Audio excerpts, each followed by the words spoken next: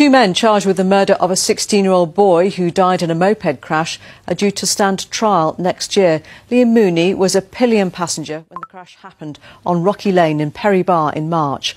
Paul Biggs, who is 25, and 30-year-old Dale Sharpen, who are both from Essex, are expected to appear before Birmingham Crown Court next January. Two men charged